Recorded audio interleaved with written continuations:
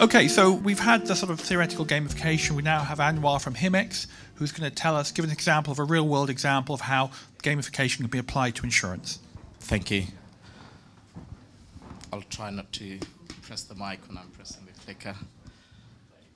So I've, um, I'm working for a company called Himex. Um, we're basically based out of the US. Uh, fundamentally, everything started in London, just not far from here around Shoreditch. And the primary objective of what we try to do is really trying to combine insurance world and the games world together and try to make things more interesting, more fun, and more entertaining. So that's really what we're trying to do. And, primarily focusing at the moment on the car um, industry at the moment, the vehicle insurance. So I'll probably regurgitate some of the things we already discussed in the in, in the breakout sessions so you guys can get a sense of where we are thinking and then try to focus a bit more on the specific examples of automotive insurance and how we are trying to approach things and, and what we are doing as a company to try to change some of the behavior of the industry. I mean, insurance industry, for, for guys who work in the insurance industry will know that it's slightly different to the entertainment industry, where if you're producing a game, you have a different objective. If you're an insurance company, you have different objective altogether. So our challenge is trying to bring the games world and the insurance world together and have a happy, fun, you know, playful, playful product development. I mean, the definition of uh, gamification is has been around for quite a long time, uh, but fundamentally, what you're trying to do is you know kind of bring the game mechanics um, in, in trying to achieve business objectives through rewards and through um, uh, in a non-game setting environment. So some of these examples you would probably see in people who do a lot of traveling. Air miles is a, is a form of games, gamification, you know, kind of socializing and communicating based on achieving a reward is another form. It's been around for a long time, but I think more recently it's been applied in a bit more uh, scientific way in trying to solve main, main business problems. Some of the criterias or, or fundamentals, so you, you've got contests, um, again, creating missions and rewards, and, um, and trying to reward, again, if you focus around vehicle insurance, it's around rewarding the drivers and making sure that the drivers are motivated to drive safely. Um, creating games, again, in a lot of uh, consumers like to play games. So producing games, again, tying it to the product that you're selling or the behavior you're trying to change. Uh, leaderboard is another me mechanics uh, that we've implemented in our platform, which allows you to create, you know, some of the examples we discussed already. And the other important thing is when you're building a, a gamification platform or a game is to kind of focus on the um, you know, to stop people gaming the game is effectively. So if you're going to reward somebody for telling you how many times they've gone to, you know, Starbucks, then that person will probably try and find ways to fix that system so they can get more free coffee or something. So again, you know, you've got to put all of these elements uh, into the platform. Achievements, so this is another way of constant, constantly reinforcing and, and, and motivating them to engage with the application, the platform or the solution you've created. And then alerts, which is tied to engagement, and uh, rewards and points, which are fairly obvious, but again, trying to target a specific behavior and reward them based on that. So if you were to break this down and say, well, you know, first of all, you've got to define your business problem. What is it that you're trying to do? So in our world, we're trying to encourage people to become more safer drivers. So that's the problem we're trying to solve. And the way we would identify that is, is to basically identify the consumers, or in our world, we talk about the players. Uh, so the consumers in this case could be somebody who's just passed their driving test and they're learning to, they're hitting the road, somebody who's been driving for a long period of time. Uh, maybe they live in different parts of the country, city drivers, urban. Somebody who drives a lot, so these could be your delivery guys or your, you know, the traveling salesman, um, you know, families or again singles um, who are who are married. And then you've got to decide on the motivation. And once you've done that, you've got to basically align it with the rewards and then quite simply you apply the mechanics. So no different to the exercise we've gone through, but you're kind of trying to apply all these different rules and, and you measure if this behavior has been achieved. And what you really do in real life is that you do this continuously. So we basically monitor how people are using the technology and the application, how they're using the data, and constantly tweak all of these parameters. The reality with all of these things is that there isn't a silver, there isn't a formula that works for everything. So you've got to have a basic idea, apply that, and constantly monitor the behavior and then constantly change. And that's no different to creating AAA games or uh, simple games like, you know, Angry Bird or whatever. It's a continuous feedback loop which you have to monitor.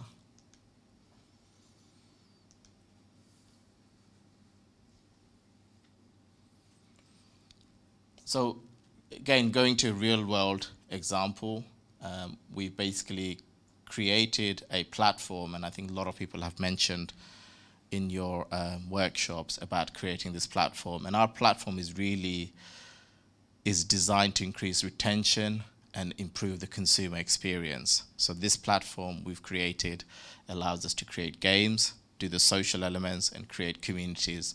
And I'll give you some real world examples of what these could look like. So one of the big challenge we have at the moment is that once somebody takes a trip with a vehicle and they provide the data is how do you basically get that person to review that trip in order for them to change their behavior. So if somebody um, you know speeds a lot or if they brake a lot, we take that data and we turn that into effectively a game. So a bit like a temple run if you visualize that, and trying to encourage them to play that game so they start to learn you know why certain things happen at certain times. So if you tell somebody that did you know that you frequently go over 80 miles an hour in these junctions, they're like, I'm not a dangerous driver, but then they subconsciously start to think, well, next time I'm there, I'll try not to accelerate too hard or brake too fast. So again, the platform allows us to create games. And once you've you know played these games or once you've interacted with this application, you've got to basically reward this person. So again, leaderboard is something we mentioned a lot um, creating driver scores. I think, Vanessa, you mentioned you've got a Viva application which gives you a driving score after driving for some certain number of miles. And again, adding other metrics within the games to motivate people to engage. So again, if there's a, a sharing point, so more you share, the more points you get. So you, you really need to find metrics that works um, for um, for the achieving the business objectives. Again, this is very tricky. So if you take um, a Salesforce, their objective is to try and to encourage more sales. So they will create metrics, which is around how many deals are you closing, how many sales leads you've got. So all of these are related to again the fundamental question is what is it that you're trying to achieve. Again, bringing in the social elements. Uh, one of the uh, one of the features that we've added is the ability for the users to, you know, share what they're doing in real life not just drivers. So somebody who's not driving can still interact with the application, and they can do that through you know social media. And again, the platform was designed with the intention of creating a game, but ultimately the application is applied for is is the vehicle insurance industry. So allowing somebody to have a really rich consumer engagement, but at the same time achieve the business objectives that the insurance companies have. Like I said, it's it's quite a challenging mix of industries to come together, but I think slowly with the likes of Apple and Google and, and driverless cars and um, Lyft and Uber, all of these technologies that's coming into this space, I think a lot of these stuff is starting to become reality, at least from what I can see. So I can show you a quick demonstration of this application running and maybe you guys can give me some feedback or if you've got any further comments. As I was saying earlier, the fundamental thing um, that seems to be key is you have to create a platform or an environment where you can basically allow all of these different um, games or gamification uh, applications or you know capabilities to be created. So we basically um, invest a lot of money in, in taking real world data and translating all of that into a virtual world. So we take in road network, building information, and what we've done is basically we created a virtual virtual world ourselves. So what you get is basically precise information, and we deliberately built this platform so it looks a bit quirky and it looks a bit like game as well. So the trees are not perfectly, you know, drawn as a tree, but they're kind of drawn in such a way that they look like you're in a kind of a, a, a, a game. Once we've created that platform, we basically allowed that platform to bring data in from the outside world. So in this particular example, I can basically record my trip. So as I'm driving, I can use the application to record my trip. And once I've done that, I can basically interact with that data through a dashboard. Now, because the platform allows you to place vehicles in the world, any trip that I've taken, I can basically show the user the route in the map, and that particular user can basically navigate to that trip, and they can replay that and see how they're driving. Now, so you can start to visualize the kind of capabilities and the possibilities you can do.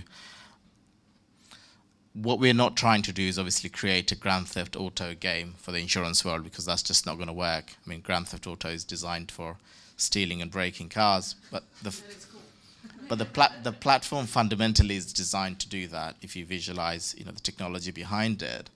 So if you're an insurance company and one of the objectives is to reward people based on the amount of driving they do, how well they drive, if they're good drivers, if they're bad drivers, then we want to try and translate these into games and then allow the persons to consume that content. But rather than just show a list of trips, we want them to consume this data in a very visual way so they can have a bit of fun with it.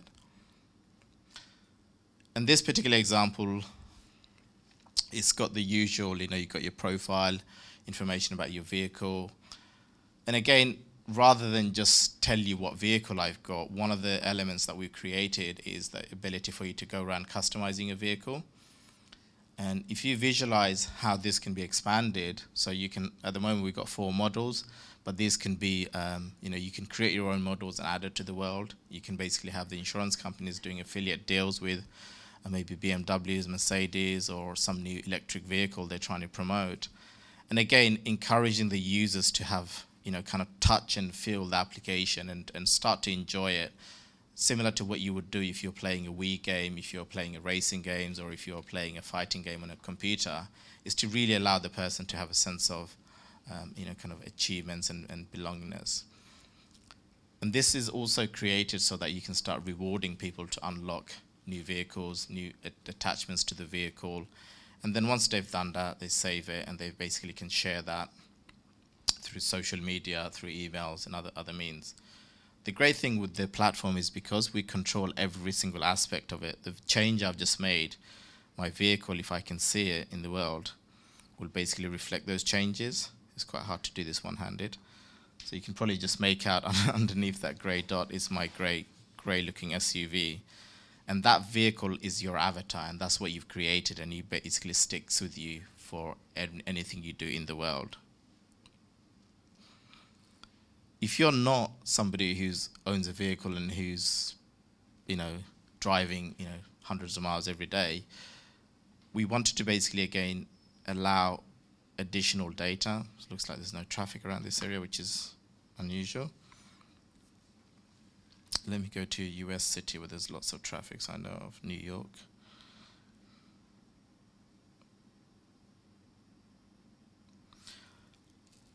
Now what you'll notice is that the way the map is being populated is that we don't actually run the full application on the device itself. All of the content is basically hosted on a cloud. So all the road network, the building data, all the terrains. So as you move around, it all gets pulled down and the, then the beauty of this is that you can have a really thin client and you can live in, you know, Surrey, you can live in, um, you know, Toronto, you can live in New York, or you can live somewhere downtown in Wisconsin. Everybody can have very similar experience and their surrounding will be reflective inside the virtual world. And because we can bring in external data, and I hope this is going to work, we can visualize a lot of this information inside the virtual world in such a way that we can show you obviously there's a roadwork here, but you can extend this a little bit and say, well, actually, you can visually show some roadwork happening. So it's almost like an animated activity inside the world. So what we're really combining is, you know, you, you take the kind of activities you can do in Farmville and uh, and Grand Theft Auto, but again, we're providing large volume of data, but in a very visual, rich way. Yeah. Similar thing for, as they say in the U.S., gas prices.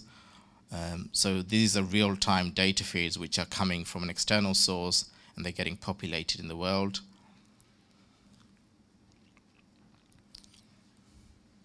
Similar thing for weather. And we can actually control the effects inside the world. So this is weather at night time. So you can actually see the level of details. Again, it's about the consumer experience and giving the consumer the feeling they kind of belong in this environment rather than just say it's going to rain, show them rain, rather than say it's going to rain at night time, show them rain at night time if it's going to snow. Unfortunately, there's no snow or rain in New York, so I can't show you those effects. But you know, you get the idea of the kind of effects we can do. Now, if I jump back to London, maybe there is going to be some rain.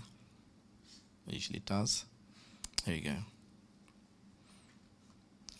So again, rather than just say it's going to rain, we want to really immerse the user in, in a world where they basically they're interested in getting more information about their surrounding and very similar to, again, rather than type the word search and, and, and, a category, we can predefine these categories and we can basically populate it inside the world.